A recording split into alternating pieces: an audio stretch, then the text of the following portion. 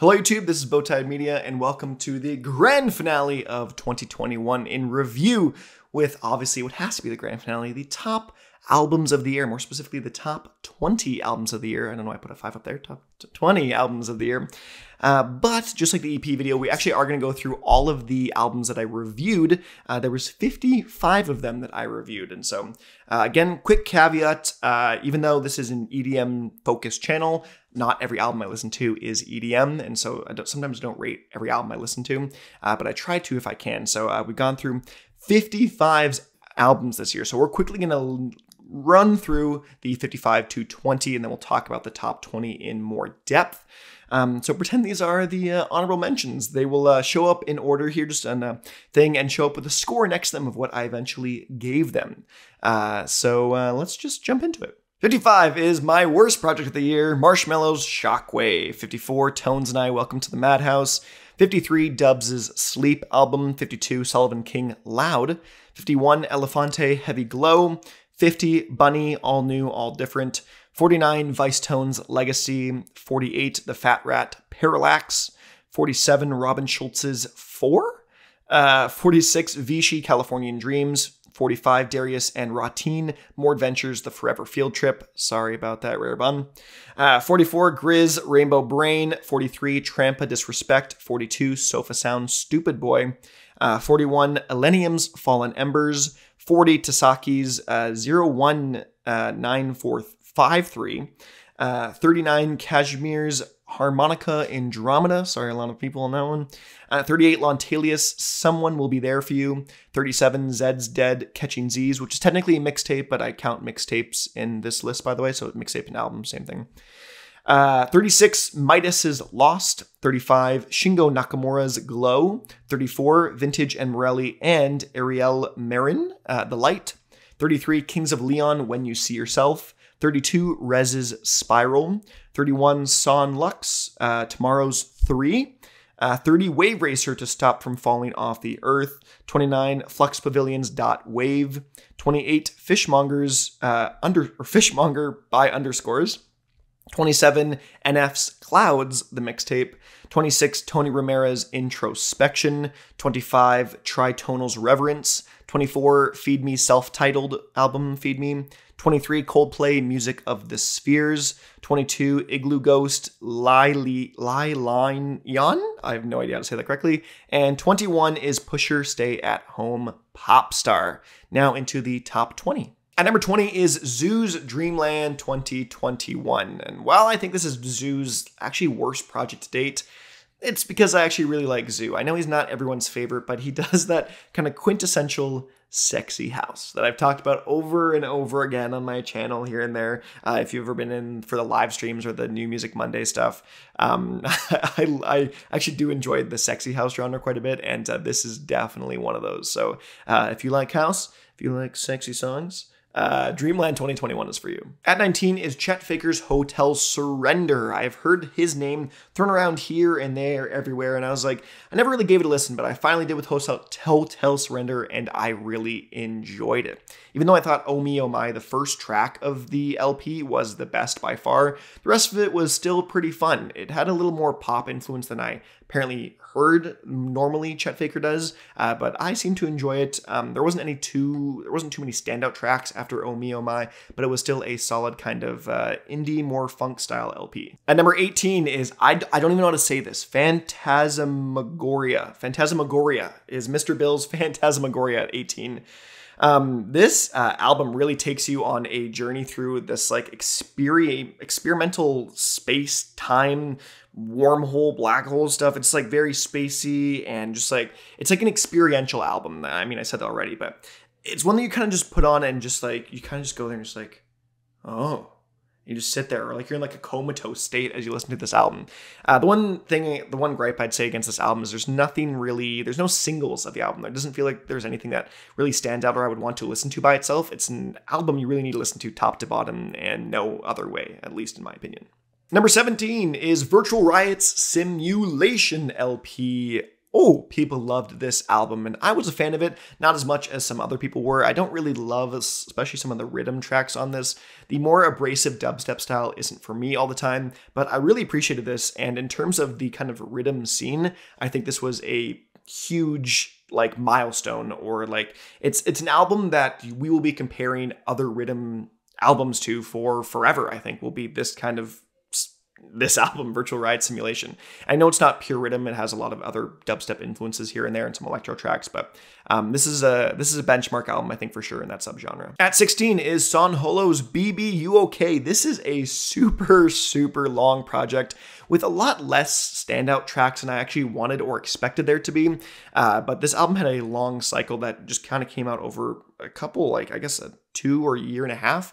Um, but I really enjoyed it. I like San Holo a lot. This is definitely his most commercial friendly or poppy approach to anything he's done before. If you think of his old Monstercat stuff like the Victory EP, that was like very niche future bass and now this is very very poppy or like dance pop music. Like i would i wouldn't even say this is future bass. I would say this is dance pop more or electro pop more than anything. But uh, that's not to say i didn't like it. I, I, really did enjoy it. Obviously it's here at number 16 and um, yeah San Holo is doing great. I'd love to see him do a little bit more of the more edm stuff but uh, still good album. At 15 is Xavi to the endless searing skies whoo, his sound design is unlike any other. His stuff is great. It's fairly, I wouldn't even say underrated, just not a lot of people know about Xavi in the first place. Um, and I'm here to give him some more exposure. The stuff is incredible. It's this very like glitchy, electro, kind of uh, all over the place, chaotic sounds that's he somehow manages to be melodic at the same point. Uh, he has really, really high highs and really low lows where it just goes from like almost nothing, like raindrop foley, into just like just like all over your mind. It's like oh my gosh it is it is crazy so uh, for a like a freshman project this being his debut album I, I thought it was fantastic at 14 is Vendettas with Opened Eyes. I thought this was a fantastic project. Obviously, I'm going to say that about all these. This is obviously number 14.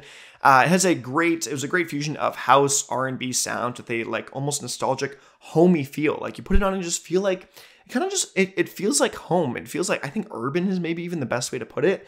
It's um I I am someone that relates to it. Uh, I don't know why or how exactly. It, it's it's a hard to describe her, but I put it on. I'm like, oh, this is kind of this kind of feels like my childhood in one sense or another. It has that kind of hit of nostalgic while still being super modern, and I love the really deeper house tracks. Like uh, Skin is a great example. At number 13 is Wave Dash's world famous tour. Uh, very similar to the Mr. Bill album. There's no really single song that I felt really stood out compared to the rest of the track list, but as a whole uh, experience listening front to back, it was fantastic. And I think this album really embodies the idea of like electronic music. It really has those kind of um, digital sounds to it that feel like it's from one of those uh, like MIDI boards, something like that. You just hit it, and it's like, like this sounds like, like electro. Like it just sounds like the actual sense of it, not like the genre, but like the uh, the word electro. So uh, I was a big fan, and uh, you should definitely listen to it. At number 12 is S.G. Lewis's Times. I think this album is a spiritual successor to Daft Punk's Random Access Memories.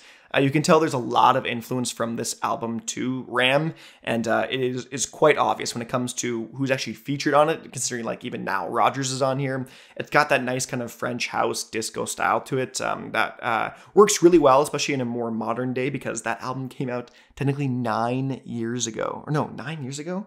Came out whoa, it came out, wait, wait, it came out so long ago, eight years. Whoa, my mind is going crazy. I just had the sudden realization that because Ram came out in 2013 and this is a this is the modern day Ram. I would say it's obviously not as good as Daft Punk's Random Access Memory, uh, but it is a, a, nice spiritual successor. Eleven is Kanye West's Donda, the album release that took forever and was so confusing all over the place. Um, it's definitely not Kanye's best album to date, but it is still super fun.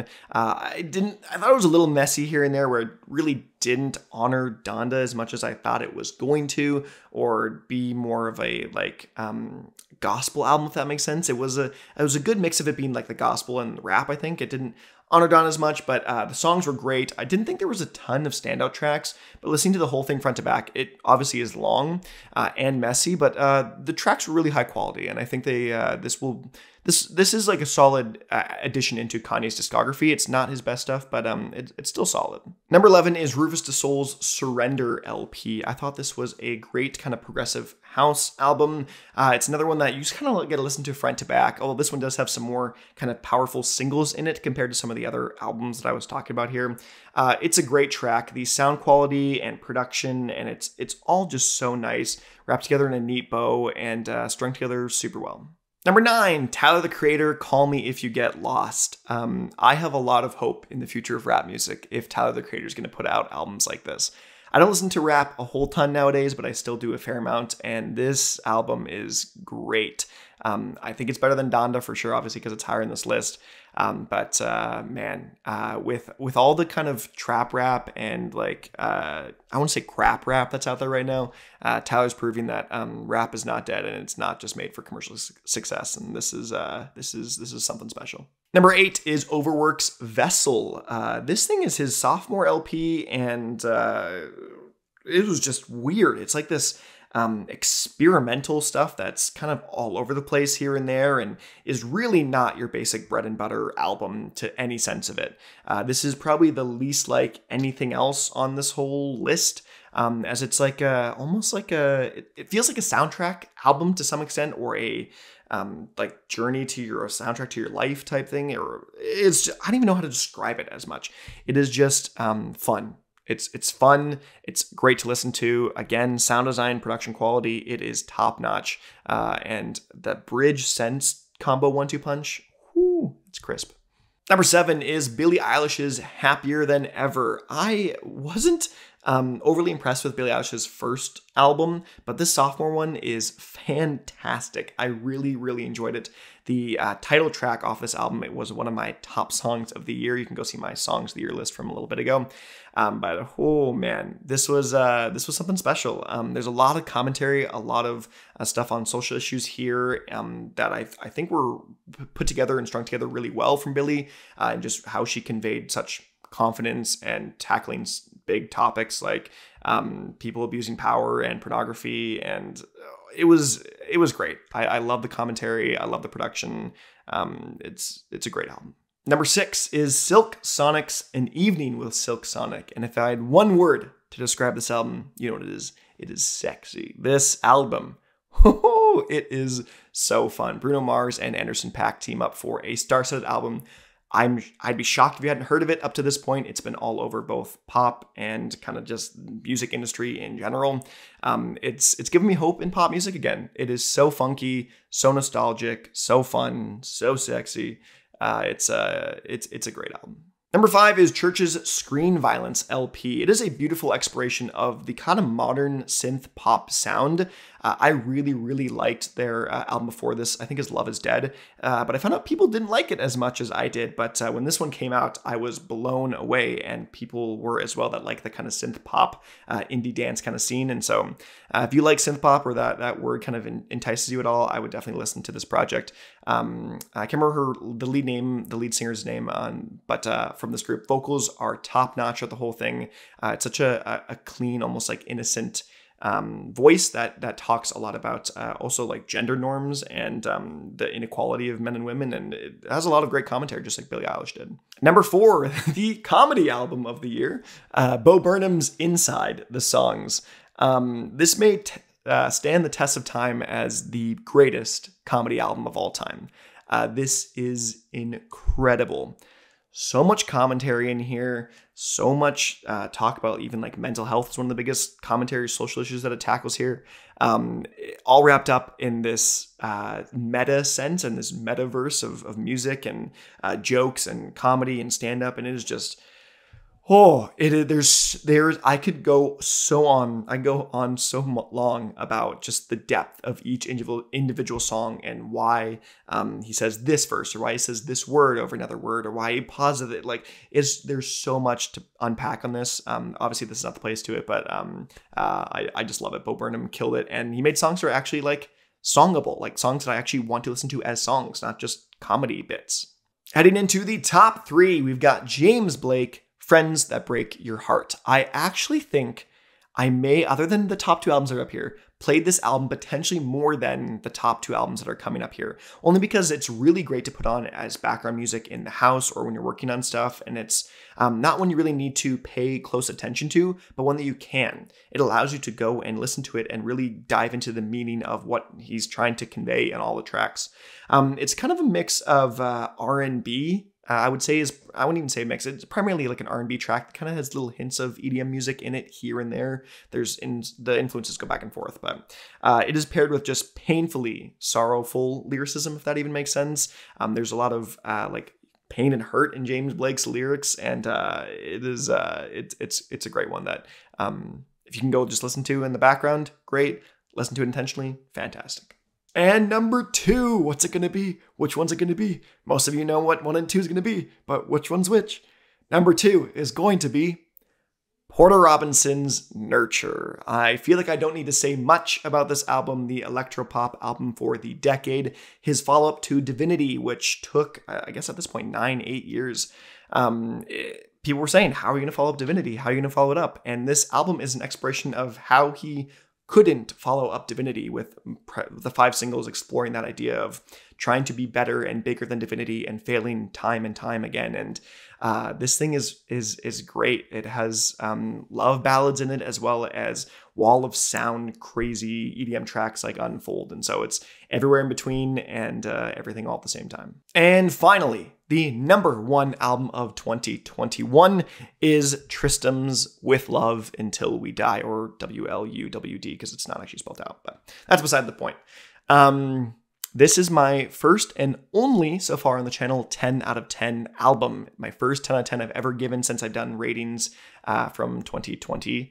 Uh, but uh, wow, um, the the words I use to describe this is cinema, cinematic electropop, and those words entice me so much. They oh, I, I love it. His vocals, the production behind everything, how bright it is, how uplifting a lot of the songs are, while still having in those emotional punches here and there. Um, oh, I, uh, yeah, uh, this is this is everything I loved about music, and a uh, big reason why this channel even exists is to this album. So uh, that's why it's number one.